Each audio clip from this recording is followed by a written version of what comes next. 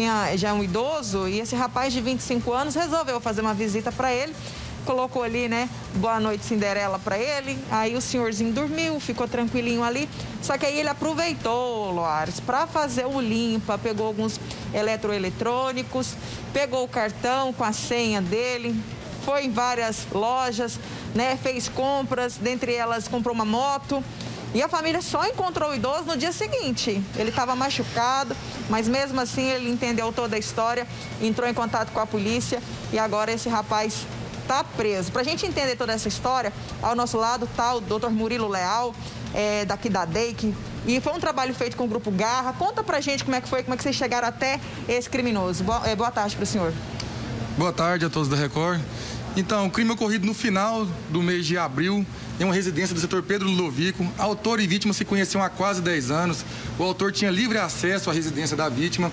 Autor esse que é usuário de crack e cocaína. Aproveitando-se da, da, da, sua relação de, de, confiança, resolveu praticar um roubo. E a ação essa que, to, que tornou concreta, né, com, é, em, que a, o autor reduziu a capacidade de resistência da vítima, né, é, é, dando para ele um medicamento ansiolítico é popularmente conhecido como Boa Noite Cinderela. O autor deu um copo de suco para a vítima, a partir desse momento a vítima não lembra de mais nada. Importante mencionar né, que o roubo não é só aquele praticado com emprego de arma, violência, grave ameaça. Há também essa modalidade de roubo em que a vítima tem a sua capacidade de resistência né, é, impossibilitada, fica impossibilitada da capacidade de resistência.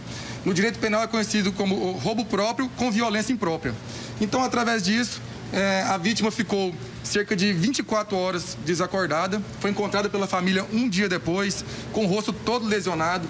Dessa ação foram subtraídos duas televisões, notebook, celular é, cartão com a senha. O autor, nessa prazo dessas 24 horas, fez diversas compras né, no, no cartão da vítima. Então, a, o autor estava disposto a tudo para subtrair esses objetos da vítima. Aí a gente sabe que o uso de cartão de outra pessoa é muito fácil de desvendar, é só identificar qual foi o mercado que foi usado, vai lá, busca as imagens de segurança, vê claramente, nitidamente.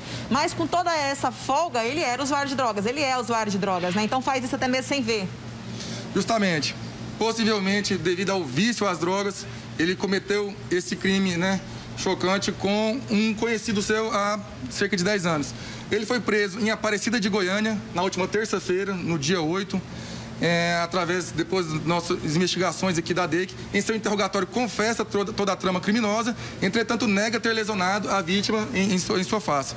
Inicialmente, trata-se de uma prisão temporária pelo prazo de cinco dias e sua pena pode chegar até 10 anos. O idoso ficou com o rosto machucado, mas ele está bem de saúde atualmente? Bem de saúde. Ficou alguns dias, algumas semanas lesionado, é, ficou hospitalizado, né, cerca de um dia.